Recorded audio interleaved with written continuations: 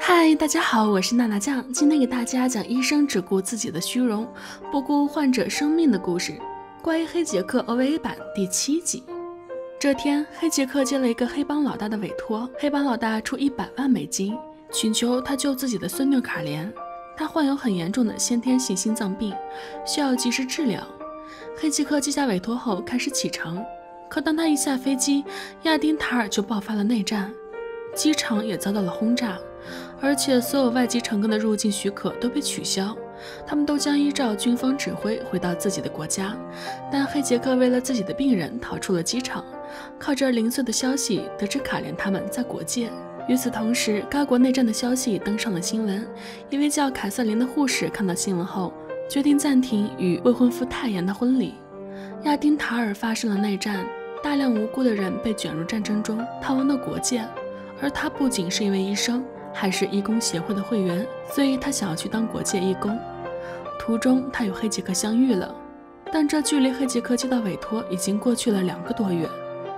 当黑杰克在难民营时，终于找到了卡莲母女，但他们的情况非常糟糕。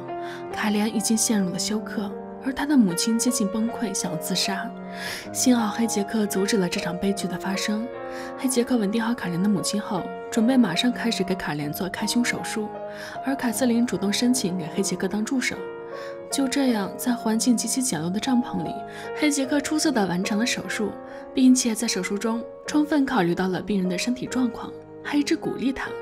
这样温柔有力的黑杰克彻底征服了凯瑟琳。手术结束之后，卡瑟琳将这一切还是以写信的方式告诉了泰妍以及他的导师史丹菲尔德教授。史丹菲尔德教授是心脏外科的权威，他对这次手术十分感兴趣，所以专门从纽约准备了一架直升飞机过来接卡莲。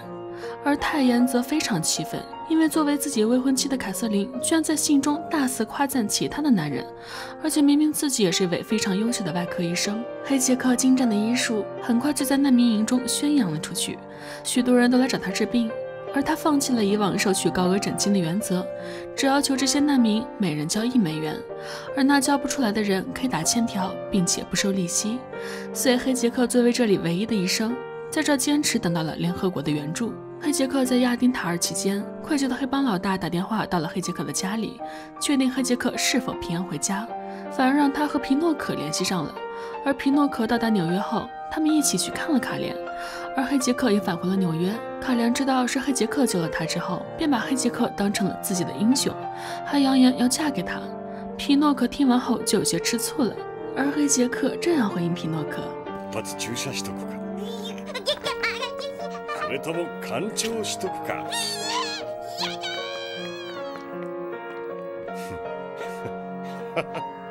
另一边，史丹菲尔德教授召开了国际医师联会，多位德高望重的医生纷纷前来参加。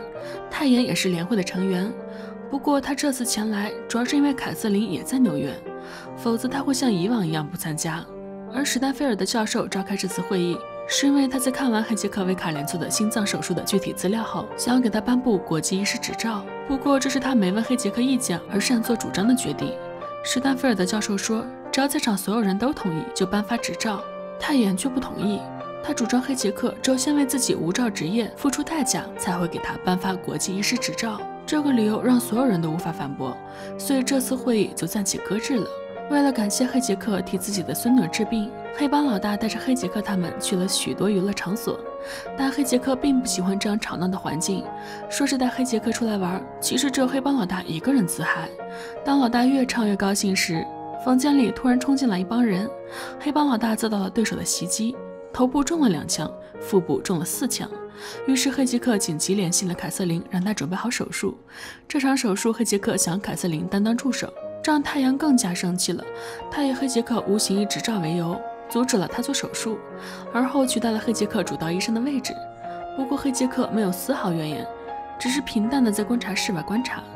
本来自信满满的太阳看到 X 光片的时候傻眼了。患者头部里的一颗子弹卡在了大脑与小脑的中间，这使手术变得十分困难。但他还是硬着头皮进了手术室。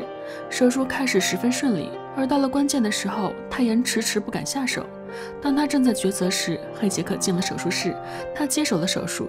即使是再小的度量，对于医生而言，这一切都排在了生命的后面。黑杰克拿着手术刀，手起刀落，手术非常成功。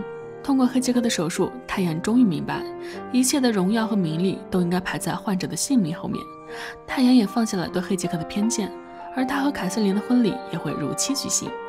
一个月后，史丹菲尔德教授召开了第二次会议中，这次泰妍衷心的同意为黑杰克颁发行医执照，但是他们再三邀请的主角却没有到达现场。黑杰克回家后带回来了一箱借条，每张都是一美元。黑杰克让皮诺克好好保护这些借条，因为这些东西十分珍贵。好了，以上就是今天电影的全部内容。不管你来或不来，娜娜都会在二泉的世界里每天为你守候。